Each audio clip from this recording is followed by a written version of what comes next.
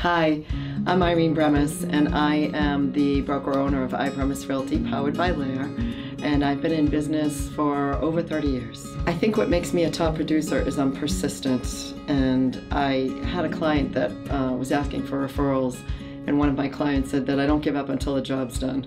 So um, when I meet the client, I make sure I follow up I do extensive reports. I introduce myself to them and give them some information about me before I meet them. Then I meet them, and then I do a follow up CMA. And I keep following up until they list with me or someone else. My CMAs are different than other people's. When I do them, I find that owners are confused. There's too much information out there, and people don't know how to sort through it.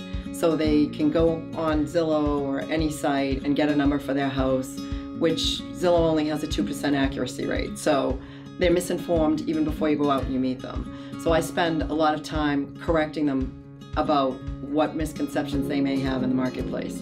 So when I do my analysis, I only take, like the appraisers, comps that are six months back, but I've made it very user friendly. So even though I can do the appraisals and I've taken the appraisal courses the way the appraisers do them, I set it up so I explain what everything means, each category, and it pretty much will point them to the correct number.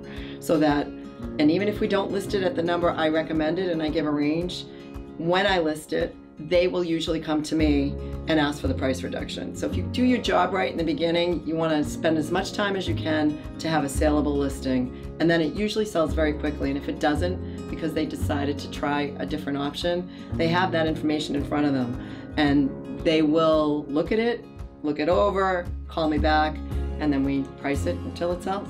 So most of my listings sell.